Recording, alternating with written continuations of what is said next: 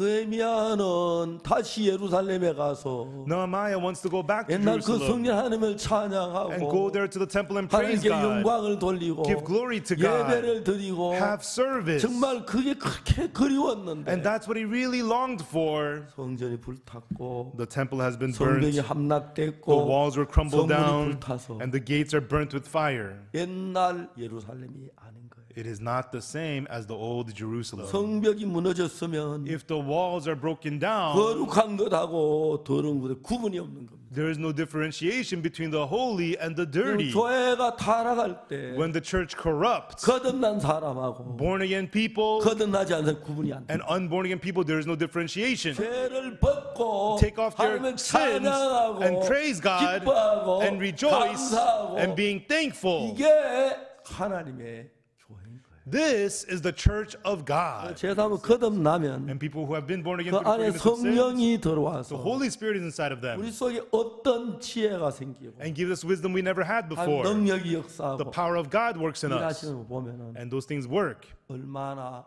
감사한지 몰라요.